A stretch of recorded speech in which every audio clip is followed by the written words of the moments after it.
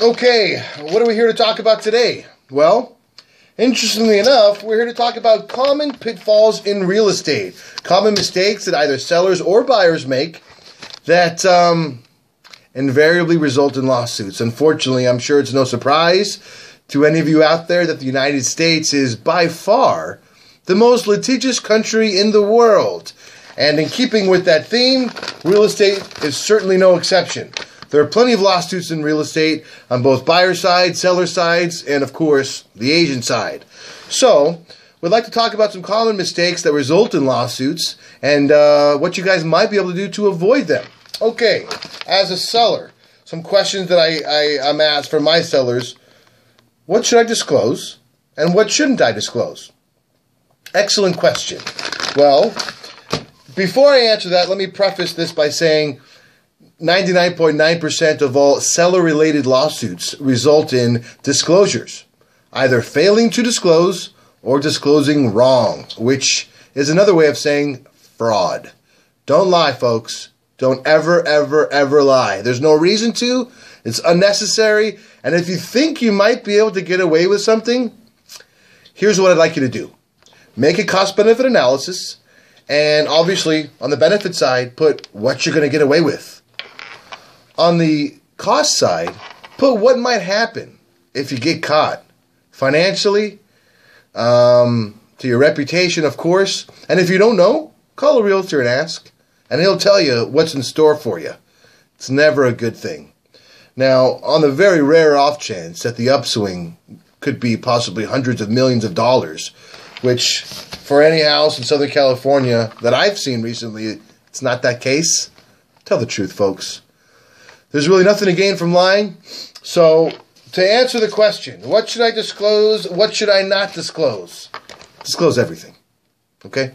Disclose everything that you know. Now, let me qualify that answer and explain what I mean. If you have some guy, just some guy, walking down the street and he says, Oh, by the way, uh, I think your house has mold in it. I think you have um, an environmental problem on your house. I think you have a gas leak. Well, who is this guy? Do you know him? Is he a credible source? Do you need to disclose that a stranger told you that you have a gas leak? Do you need to disclose that a complete stranger who you don't know told you, gave you their opinion on the house? No. However, if you know something to be true and it's a fact, you better disclose it. This is where all lawsuits stem from. A seller failure to disclose a material fact about the property. Now, what is a material fact?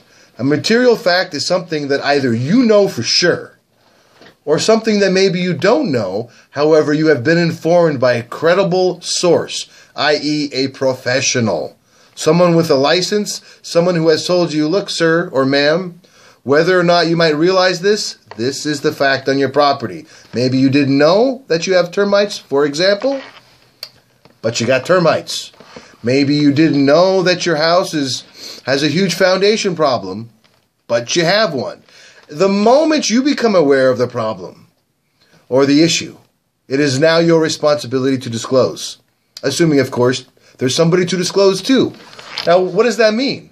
Well, if your property is not under contract and you don't have a buyer, there's really nobody to disclose the issue to. However, the second you get one and you got a buyer on the hook, you let them know as soon as humanly possible. What does that mean? Well, before you go under contract, preferably, or if you're already under contract and you become aware of this, you draft an addendum immediately. You let the buyer know and provide the buyer copies of everything you have relating to the issue in writing.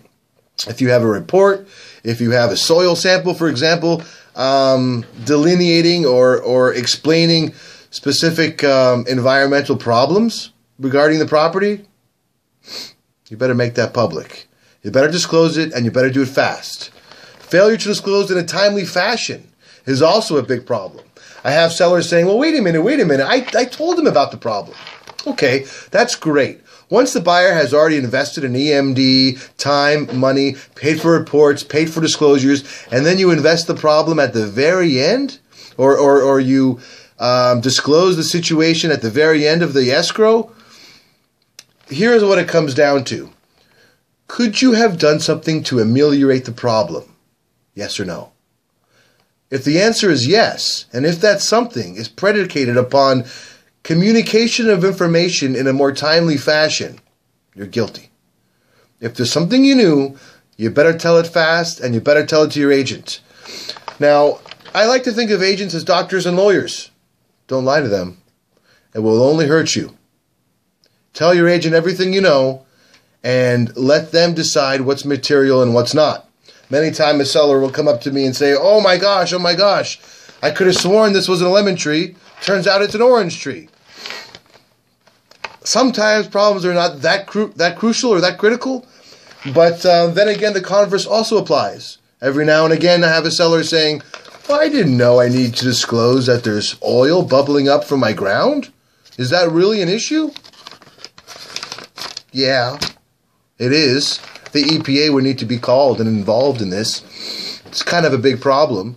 So if you don't know what what constitutes a big problem, a legal problem, or most importantly, a potential lawsuit, ask your agent. I guarantee he will. And if he doesn't, call me because I will. 909 559 5275. Thank you so much, folks. And I will be adding this segment weekly. We will be talking about common questions from buyers, common questions from sellers, what to do, what not to do, and most importantly, how not to get sued, folks. That's it for this week. Thank you so much. And remember, call me anytime on my cell. Z Real Estate can be reached at 909 999 6888. I can always be reached at jonathanzuckerman.com, zbanker at AOL.com, zrealestate.net, or you can follow me at Twitter at Johnny Z Banker. Thanks so much, folks. Have a great day.